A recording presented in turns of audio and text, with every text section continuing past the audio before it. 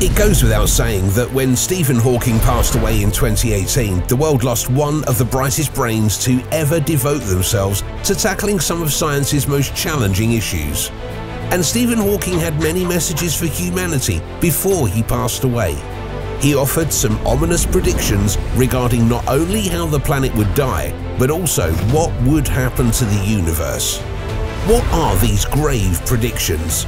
Is there any chance that we can avoid them? Let's find out. Anyone who has watched any of the Terminator movies is aware of how this whole artificial intelligence issue is likely to end, and Stephen Hawking concurred. According to Stephen Hawking, artificial intelligence will either be a boon or a bane for humanity, depending on how it develops. It might very well be the final thing if we are not careful. Artificial intelligence encompasses everything from Google's algorithms to self-driving cars to facial recognition software, and it holds immense promise for humanity. Although it might seem like science fiction, Hawking claims that doing so would be a mistake and potentially our worst mistake ever. We humans are pretty clumsy compared to robots. It takes us generations to iterate because evolution moves slowly. On the other hand, robots can enhance their own designs far more quickly and, in the near future, they will most likely be able to do it without our assistance. According to Hawking, this will lead to an intelligence explosion where machines may outsmart us by more than ours exceeds that of snails. Many people believe that the main danger of AI is that it could turn malicious rather than helpful. This worry is allayed by Hawking, who claims that the true risk with AI isn't malice, but competence. The bottom line is that AI would be excellent at achieving its objectives, and if humans get in the way, we could be in trouble. A hydroelectric green energy project's project manager may not be an ant-hating villain who deliberately steps on ants. But in the event that the project's project manager is in charge of flooding an ant hill, then the poor ants will have to deal with the consequences. Let's not place humanity in the position of those ants, argues Hawking in his book. He said in 2017 that the genie is out of the bottle. I fear that AI may replace humans altogether. If people design computer viruses, someone will design AI that replicates itself. This will be a new form of life that will outperform humans.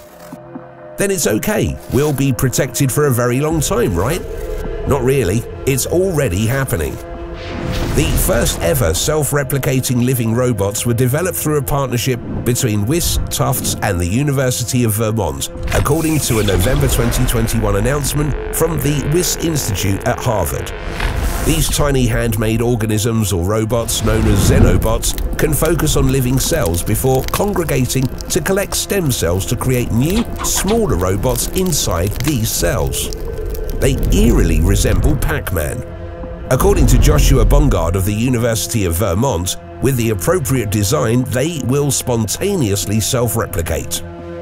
They started out with the greatest of intentions, but we've all heard the expression, the path to hell is paved with good intentions. Will it apply? Who knows?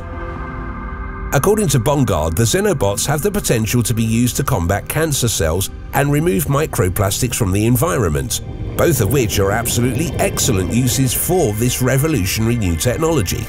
But will it spiral out of control? Well, according to Stephen Hawking, it's possible. If it's not the robots, Stephen Hawking claims that it is almost inevitable that the Earth will experience an environmental disaster or a nuclear conflict during the next 1,000 years.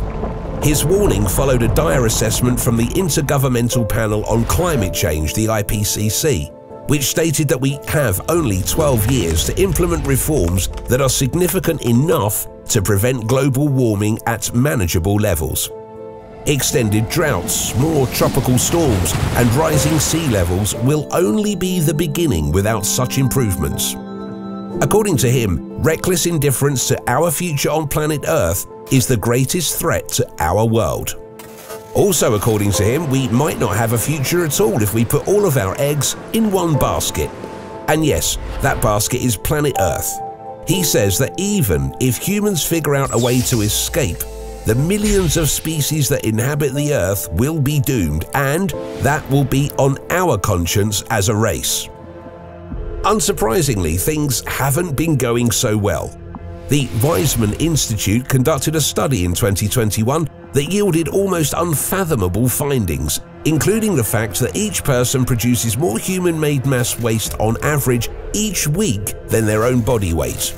More depressingly, the weight of man-made materials on the globe has overtaken that of naturally occurring materials. Moving on, there's nothing like a pandemic to bring home to everyone exactly how many people there are on this earth, but it was years before anyone heard of COVID that Stephen Hawking warned that there were just too many people. According to what he said in 2017, our Earth is becoming too small for us, the global population is increasing at an alarming rate, and we are in danger of self-destructing. We need to actively pursue an alternative way of living if the human race is to survive. The year 2021 had scientists wondering how things would be that particular year. While UN researchers predict there will be an astounding 11 billion people in the world by the end of this century, compared to the roughly 8 billion there are in 2022, other predictions place the number at a maximum of 9 billion. According to the Pew Research Center, declining fertility rates indicate that the population will effectively come to a standstill. Another warning is no less threatening. Self-designed evolution has entered a new phase. In the near future, we'll be able to break free from the constraints of traditional evolution and begin tinkering with our own DNA immediately, rather than waiting for a few thousand years. Even the notion of creating superhumans through genetic engineering seems a little far-fetched, but Stephen Hawking disagreed. Even in his posthumously released book Brief Answers to the Big Questions, which was released in 2018, he issued a warning about it. He wrote, I am sure that during this century people will discover how to modify both intelligence and instincts such as aggression. While he was equally certain that there would be legislation put in place to restrict what could be done, he continued that some people won't be able to resist the temptation to improve human characteristics such as memory, resistance to disease, and length of life. Similar to AI, the power to alter our own DNA has the potential to address the most pressing issues facing humanity. First, and probably not too far off, we'll be able to correct genetic flaws by editing out genes for conditions like muscular dystrophy, and amyotrophic lateral sclerosis, or ALS, the condition he was diagnosed with in 1963. According to Hawking, we will be able to edit intelligence, memory, and lifespan within this century. And at that point, things could become really challenging. These superhumans, as Hawking refers to them, are likely to be the world's wealthiest elites.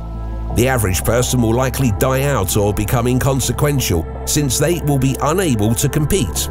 Superhumans will probably colonize other planets and stars at the same time.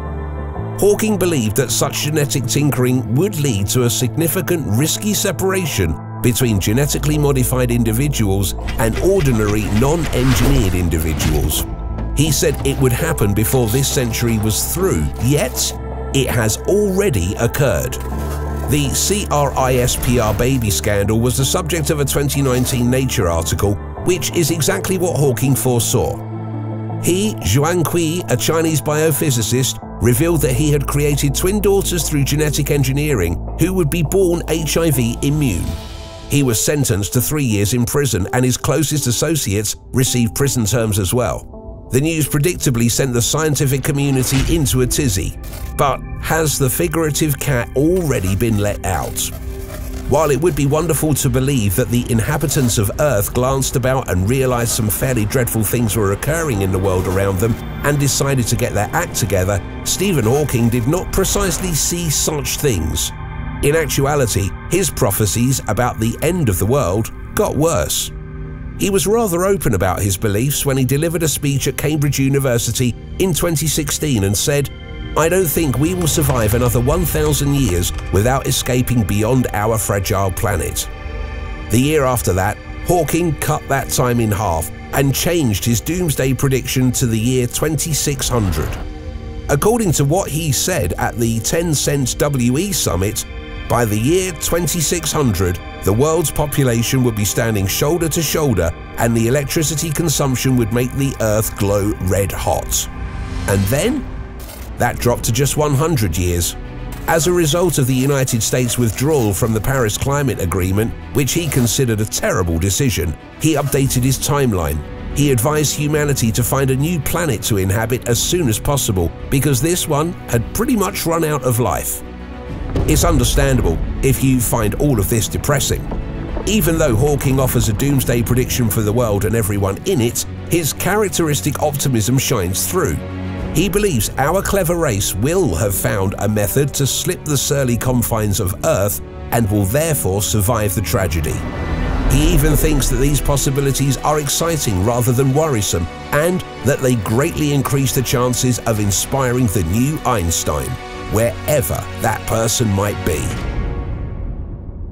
Thanks for watching another episode of Voyager. While you're still here, make sure to click the video on your screen for more mind-blowing videos about space.